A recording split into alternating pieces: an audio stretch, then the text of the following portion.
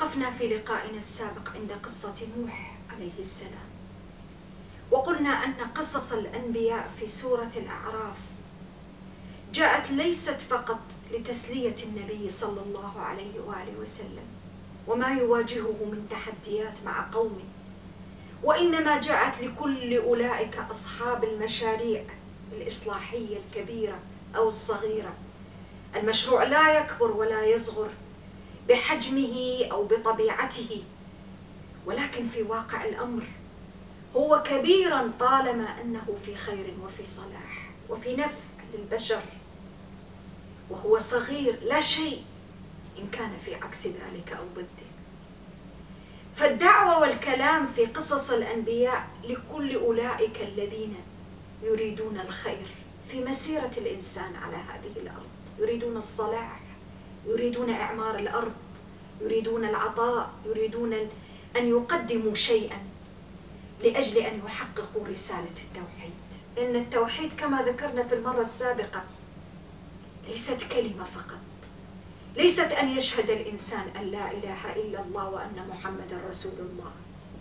وإنما في واقع الأمر. هي منهج حياة منهج عمل منهج تفاني في تقديم النفع والخير. للإنسانية ولذلك الآيات انتقلت بعد الحديث عن قصة نوح عليه السلام إلى عاد. ومرة أخرى وإلى عاد أخاهم هودا. هود عليه السلام هؤلاء القوم هم قومه وعشيرته وأهله ليس عنهم بغريب. يعرفونه حق المعرفة. وجاء كذلك بتلك الكلمة كلمة التوحيد. قال يا قوم اعبدوا الله ما لكم من إله غيره أفلا تتقون. ومرة أخرى كذلك والكلمات في كتاب الله عز وجل كتاب الله عز وجل ليس فيه تكرار لا. وإنما تأكيد لمعاني فعلا معاني حقيقية معاني جديدة. فرب عز وجل حين ذكر في قصة نوح عليه السلام كذلك قال الملأ وهناك من قومه وهنا قال الملأ الذين كفروا من قومه. إذا القضية مقصودة ولدت معاني أخرى جديدة. هذه المعاني تبين وتؤكد الحقيقة التي ذكرناها فيما سبق دائما وأبدا في كل مجتمع في كل مشروع كبير أو صغير. هناك فئة من الناس هؤلاء الذين نراهم ربما المظهر الخارجي يوحي بشيء يوحي بأنهم قوة قوة حقيقية وممكن أن يفرضون فعلا احترام الآخرين لهم بناء على ذلك المظهر الخارجي أو الشكل الخارجي ولكن في واقع الأمر. هؤلاء الملأ تحديدا هم الذين يقفون عائقا بين المشاريع الإصلاحية وبين من يقوم بالإصلاح ويقدم رسالة الإصلاح وبين الناس وبين القوم وبين المؤسسة وبين المجتمع فلا بد للإنسان أن يتنبه. أن المسألة ليست مسألة مظاهر وليست مسألة تتعلق فقط بشكل خارجي. المسألة تتعلق بالمحتوى بالرسالة في حد ذاتها. ولكن المرة هذه الملأ ماذا قالوا؟ قالوا إنا لنراك في سفاهة وإنا لنظنك من الكاذبين. تدبروا معي. في قصة نوح عليه السلام قالوا إنا لنراك في ضلال مبين. وفي قصة هود عليه السلام قالوا له إنا لنراك في سفاهة وإنا لنظنك من الكاذبين. الأنبياء صفوة الخلق هم أولئك الناس الذين توجه إليهم. أصعب التهم. تدبروا معي في هذا المعنى. صحيح فيه تسلية واضحة للنبي صلى الله عليه وآله وسلم. لأن صعب على النفس مما يوقعها في الحرج والضيق. أن تتهم في شيء هي منه بريئة. بل في أمر هي أكثر ما تكون بعدا عنه. وهم قومه وهم يعرفونه حق المعرفة. قالوا عنه معلم مجنون قالوا عنه كاهن قالوا عنه يقول أساطير الأولين. أشكال مختلفة من الاتهامات. وكانت تلك الاتهامات بدون شك مصدر لإزعاج النبي صلى الله عليه وسلم ومصدر لكل إنسان يسير على الحق في رحلة الحياة. فإذا به بدل المتصور أو المتوقع أن يواجه بالشكر أن يواجه بالإحترام والتقدير لما يقوله. ليس فقط لشخصه هو كإنسان وإنما لعظمة ما يقدمه.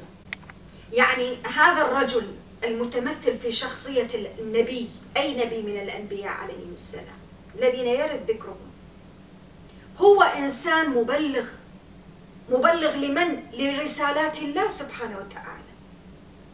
إذا هو شرف بأنه قد حمل هذه الرسالة. فالمتوقع أن العبيد الخلق يعظمون تلك الرسالة. وبالتالي في نفس الوقت يحترمون من حمل هذه الرسالة. نحن في حياتنا اليومية متعارف عليه. البشر حين يستلمون رسالة من شخص له مكانة مرموقة له شخصية له آه، مودة خاصة منزلة. في نفوسنا نحتفي بذلك الشخص بالرسول الذي أرسل أرسلت معه الرسالة. بناء على أي شيء؟ على احترامنا وتقديرنا لمرسلها. نقدر الرسول الذي أرسل لأي شيء؟ لاحترامنا وتقديرنا لذلك الذي أرسل. ولله المثل الأعلى. لكن هؤلاء القوم ما قدروا الله حق قدره. هؤلاء القوم أرسل رب العزة سبحانه وتعالى إليهم الرسل. فبدل ما أن يستقبلوا الرسل بالحفاوة والتقدير والإحترام استقبلوهم بعكس ذلك. فكان من جملة ذلك قالوا إنا لنراك في سفاهة. والسفاهة خفة العقل. أن يكون الإنسان طائشا خفيف العقل بعيدا عن موازين الحكمة. كل هذه الأوصاف لأي شيء لأجل أنه قال لهم اعبدوا الله ما لكم من إله غيره. كانوا يرون أن دعوة التوحيد خفة عقل وبعد عن المنهج الصحيح. وأن عبادة تلك الأصنام والأوثان التي ورثوها عن آبائهم وأجدادهم هي محض العقل والحكمة. تدبروا معي حين تقلب الأمور. من أصعب الأشياء على الإنسان المصلح أن يرى الناس من حوله وهم يرون الأشياء مقلوبة. كمن بالضبط يرى الليل نهار ويرى النهار ليلا يرى الضوء والنور ظلمة ويرى الظلمة نورا. شيء صعب جدا على النفس أن فعلا تتحمل هذا العناء. ولكن أيضا الرد قال يا قومي ليس بي سفاهة ولكني رسول من رب العالمين. رد واضح مباشر صريح يتناسب مع طبيعة الدعوة. لم يرد عليهم على سبيل المثال فيقول لهم بل أنتم السفهاء. يتوقع الإنسان حين يتهم ويقال له وهو نبي مرسل إنا لنراك في سفاهة. أن يرد الإساءة عن نفسه قد يقول في لحظة من اللحظات بل أنتم السفهاء. أبدا. هو ما قال؟ قال ليس بي سفاهة ولكني رسول من رب العالمين. هذا النوع من ردود الأفعال العنيفه التي جاءت من قبل قومه. لم تخرجه عن جادة الصواب تخرجه عن أدب النبوة أدب الدعوة. أدب الإنسان حين يحاور ويخاطب بناء على تلك الرسالة العظيمة التي يحملها. هذا رسول فالرسول شيء طبيعي أنه يعكس المكانة والمنزلة التي تليق بالرسالة التي يحملها.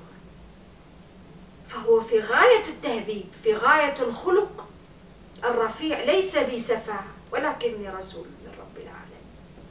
وتدبروا معي مرة أخرى أبلغكم رسالات ربي تحديد لمهمته كنبي تبليغ فقط.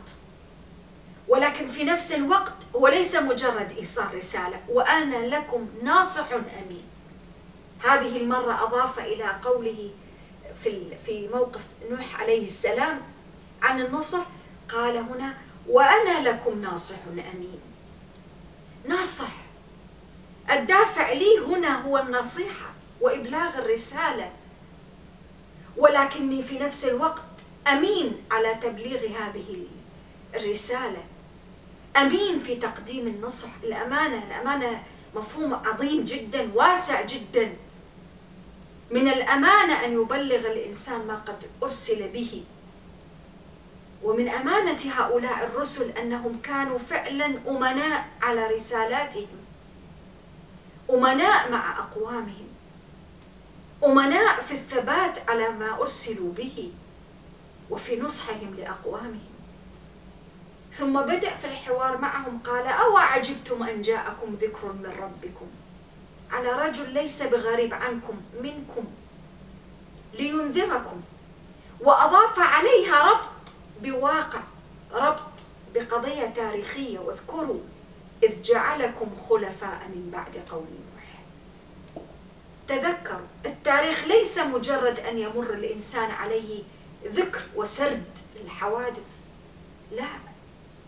الذكر هنا لقضية تاريخية لأجل أن تستخلصوا المواقف والعبر. من الذي جعلكم خلفاء من بعد قوم نوح؟ من الذي زادكم في الخلق بسطة؟ من؟ الرب سبحانه وتعالى. ولذلك قال فاذكروا آلاء الله لعلكم تفلحون.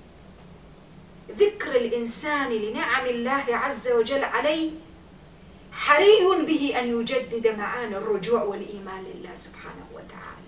ولذلك قال لعلكم تفلحون. اذكروا آلاء الله. من أعظم أسباب الغفلة وضعف الإيمان في النفوس وضعف ثمرة التوحيد في القلب هو أن الإنسان يألف نعم الله سبحانه وتعالى فلما تتجدد عليه النعم وهي في كل لحظة تتجدد عليه. لا يستشعر بقيمتها. لا يذكرها. حتى أن بعض الناس اليوم في حياتنا تسأله ما أخبارك؟ يقول لك ما في جديد. هي كلمة عابرة أكيد هو لا يقصد بها شيئا سيئا. ولكنها غير لائقة. في واقع الأمر أنت في كل نفس من أنفاس الحياة لك نعمة تتجدد. في كل خفقة قلب في كل طرفة عين هناك جديد جديد من نعم الله وآلائه سبحانه وتعالى جديد. في كل خطوة تخطوها وتتمكن من أنك أنت فعلا تخطوها. هذا تجدد للنعم وتجدد النعم يستدعي تجدد الشكر للخالق المنعم تجدد الإيمان بالله سبحانه وتعالى. ولكن هؤلاء القوم كل هذه النعم والآلاء ما جددت فيهم معاني الإيمان والرجوع لله سبحانه وتعالى. تدبروا معي. نحن قلنا وربطنا قلنا كل قصص الأنبياء الذين ستأتي أنباؤهم في الآيات مرتبطة بقوله تعالى والبلد الطيب يخرج نباته بإذن ربه. الآلاء والنعم كان ممكن إنه لما تنزل على تلك القلوب تجدد فيها الرجوع والإيمان بالله سبحانه.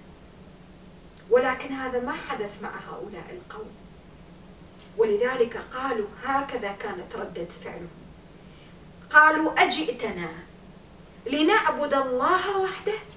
استغربوا جدا. أنت جئتنا لكي تقول لنا اعبدوا الله وحده؟ ونذر ما كان يعبد آباؤنا؟ شيء غريب جدا. تدبروا معي. نحن قلنا في أكثر من مرة. سورة الأعراف. تخلص الإنسان من أن يتولى شؤونه أحد غير الله سبحانه. ولا تتخذوا من دونه أولياء.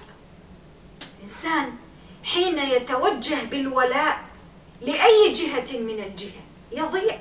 هؤلاء القوم من أكثر ما منعهم من التوحيد والإيمان برسالة التوحيد.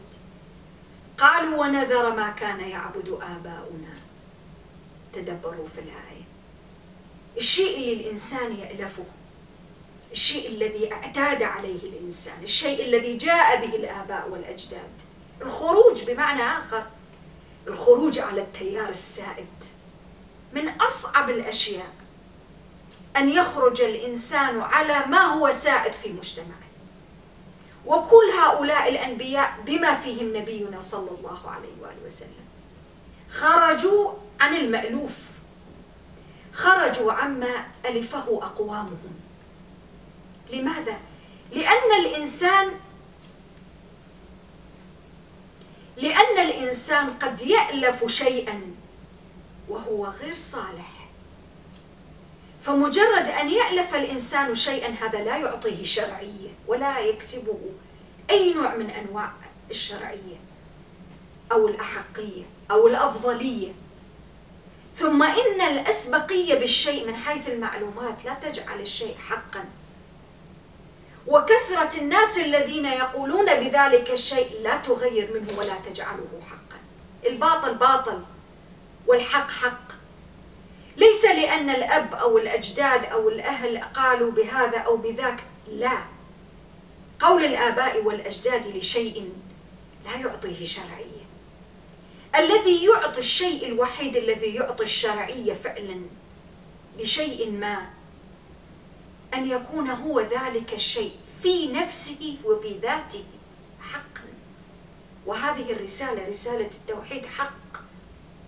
والذي أرسل بها الأنبياء والذي أرسلهم بها هو الله سبحانه وتعالى. فكان لابد من أن تكون حقا وصدقا. وكان هي التي ينبغي أن تقدم في قلوب وفي عقول هؤلاء لو أرادوا فعلا الحق منطقيا. فماذا قالوا؟ قالوا فأتنا بما تعدنا إن كنت من الصادقين. نحن لا نريد أن نسمع. أنت تتوعدنا بهلاك كما حدث في قوم نوح. ائتنا بما تعدنا إن كنت من الصادقين. وهنا تتضح حالة الغرور للإنسان. إنسان في كثير من الأحيان حين يقع في مواطن الضلال والبعد عن الله سبحانه وتعالى يصبح منتشيا بالباطل. الباطل له نشوة ولكنها نشوة فارغة. نشوة كاذبة؟ هؤلاء القوم كانوا في نشوة فارغة. قالوا فأتنا بما تعدنا إن كنت من الصادقين. ولكن هذا النبي الكريم الناصح الأمين لم يتوقف عن الرسالة. أبدا قال قد وقع عليكم من ربكم رجس وغضب. أتجادلونني في أسماء سميتموها أنتم؟ وآباؤكم ما نزل الله بها من سلطان. الشيء يصبح مشروعا ومقبولا حين ينزل من الله سبحانه وتعالى به دليل. غير ذلك لا يعطيه شرعيه ابدا. فانتظروا إني معكم من المنتظرين. لماذا؟ لأن الرسول ليس أي رسول ليس من مهامه ولا في وسعه ابدا. أن يأتي القوم بعذاب ابدا هو مجرد مبلغ. أما الذي يأتيهم بذلك العذاب فهو الله سبحانه وتعالى. الرسول لا يملك شيئا من تلقاء نفسه. الرسول لا يملك شيئا من تلقاء نفسه. الذي يأتي به من؟ الله سبحانه وتعالى. فماذا كانت العاقبة؟ قال فأنجيناه والذين معه برحمة منا. وقطعنا دابر الذين كذبوا بآياتنا وما كانوا مؤمنين. تدبروا معي. عدم الإيمان بالله سبحانه وتعالى. ومرة أخرى في نفس السياق. قال عن قوم نوح كذبوا بآياتنا. قال عن عاد كذبوا بآياتنا. أخطر شيء يقع فيه الإنسان أن يكذب بآيات الله سبحانه. لا نجاة هذه القضية. القضية قضية مصيرية. قضية الإيمان بالله سبحانه وتعالى أو عدم الإيمان قضية مصيرية. وربي عز وجل قبل آيات في سورة الأعراف حكى لنا عن المصائر النهايات يوم القيامة. وهذه المصائر التي قال عنها في القرآن ما قال في سورة الأعراف. ما جاءت من فراغ جاءت مرتبطة بأعمال بسوابق بما قدمه الإنسان. فرب سبحانه حين عرض لنا المصير والآن يعرض لنا الأعمال. لأي شيء لأجل أن يرى الإنسان رؤية العين أن هذا العمل سيؤدي إلى هذا المصير.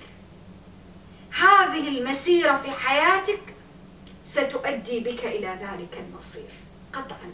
ليس هناك ثالث. الأمور واضحة. الأمور في غاية الوضوح.